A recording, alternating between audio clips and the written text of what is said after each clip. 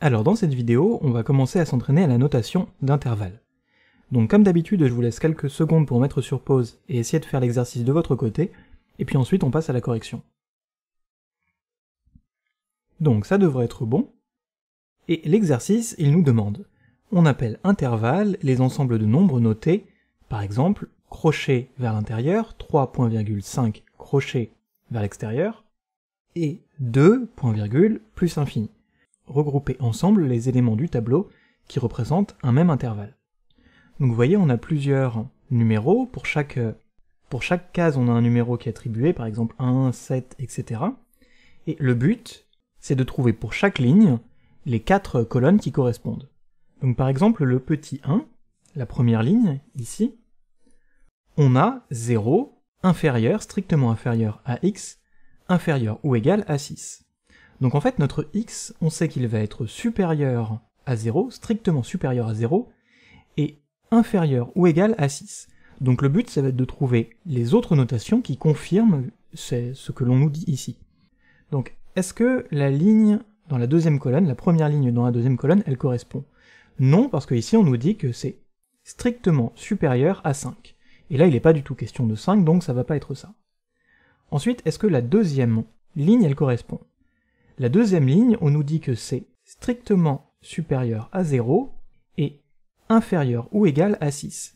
Donc ici, a priori, ça correspond, puisque en effet, notre x, il va se situer dans cet intervalle, il va être strictement supérieur à 0, le crochet est situé vers l'extérieur, donc on n'inclut pas le 0, et par contre le crochet est situé vers l'intérieur, dans l'intervalle, donc on peut inclure le 6. Donc ici c'est bon. Le 1, on va pouvoir l'associer petit 7. On passe à la colonne suivante. La colonne suivante, première ligne, x est compris entre 0, 5 exclu et 10 exclu. Donc ça va pas être ça parce qu'on n'a pas 0,5 dans notre intervalle, c'est pas du tout ce dont il est question. Ensuite on a x est compris entre 0 exclu et 6 inclus.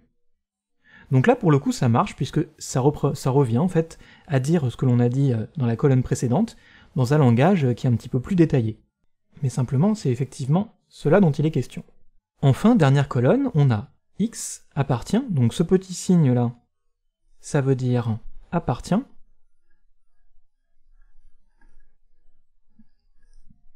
et on a comme intervalle crochet vers l'intérieur, point virgule, 6 crochets vers l'intérieur. Donc ici, il faut bien faire attention parce qu'on pourrait croire effectivement que c'est notre intervalle, sauf que la grande différence, c'est que le premier crochet, celui-ci à gauche, est tourné vers l'intérieur. Donc ça voudrait dire que le 0 appartient à notre intervalle, alors qu'on sait qu'en regardant les colonnes précédentes que le 0 n'appartient pas à notre intervalle.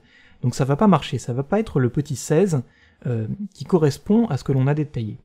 On passe à la ligne suivante et on a x appartient à moins l'infini, point virgule, 3 crochets vers l'intérieur.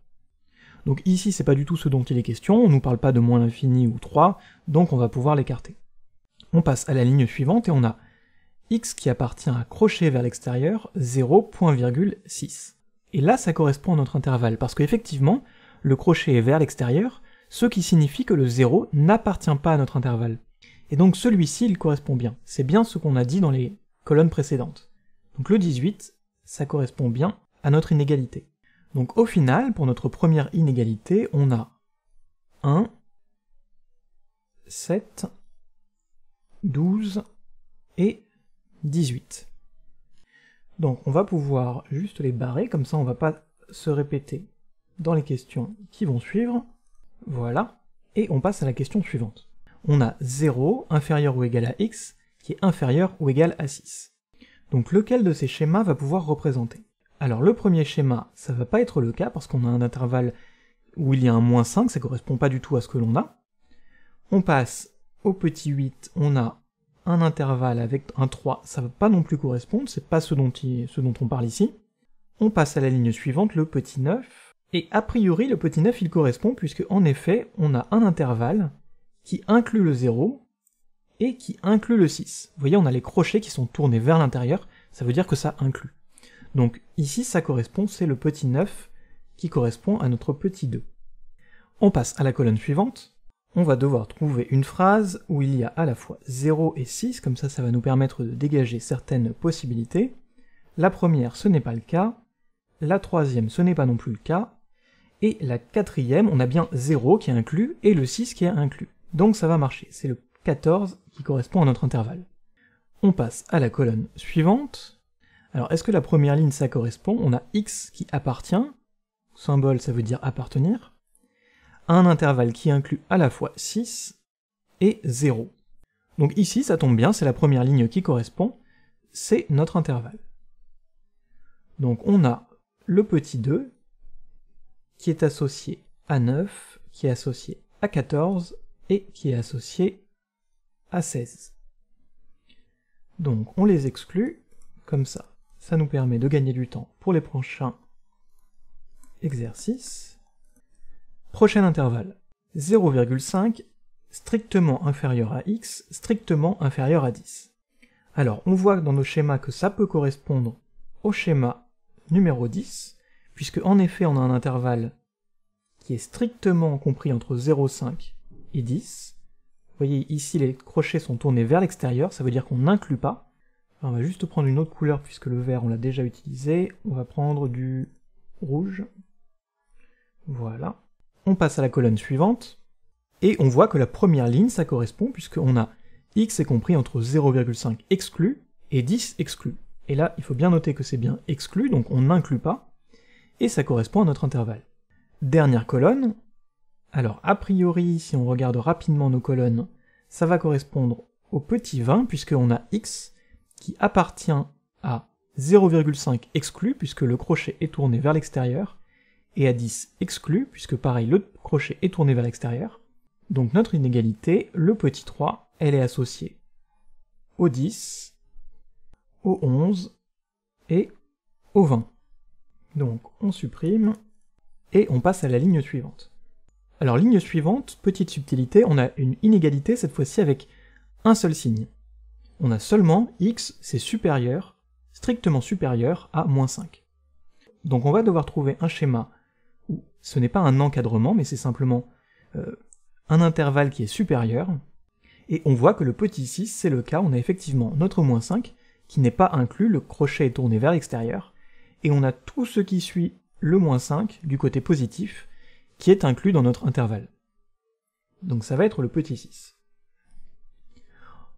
Dans une phrase, ça donne x est supérieur à moins 5, ça correspond à notre petit 13, ici.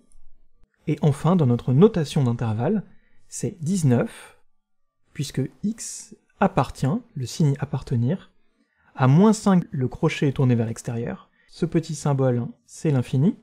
Donc c'est tout ce qui suit, euh, le moins 5 jusqu'à l'infini, et l'infini donc, par définition, c'est infini.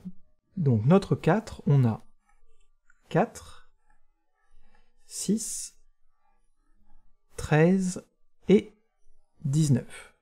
Et donc si on procède par élimination, on supprime notre petit 4 dans toutes ces colonnes. A priori, si on ne s'est pas trompé, le petit 5, le petit 5 qui est x inférieur ou égal à 3, eh bien, ça doit être le schéma numéro 8, en effet, on a bien un x qui est inférieur à 3 et on inclut le 3 avec le crochet tourné vers l'intérieur. Sous la forme d'une phrase, ça donne x est inférieur ou égal à 3, et en notation d'intervalle, ça donne x qui appartient à moins l'infini, et le 3 est également inclus puisque le crochet est tourné vers l'intérieur. Donc on ne s'est pas trompé, ça correspond bien euh, à notre inégalité x inférieur ou égal à 3 ça nous donne le petit 5, il est associé au 8, au 15 et au 17. Et on en a terminé avec cet exercice. Donc voilà, j'espère que ça aura pu vous aider. Euh, si c'est le cas, n'hésitez pas à laisser un j'aime et à vous abonner. Et puis on se voit dans une prochaine vidéo.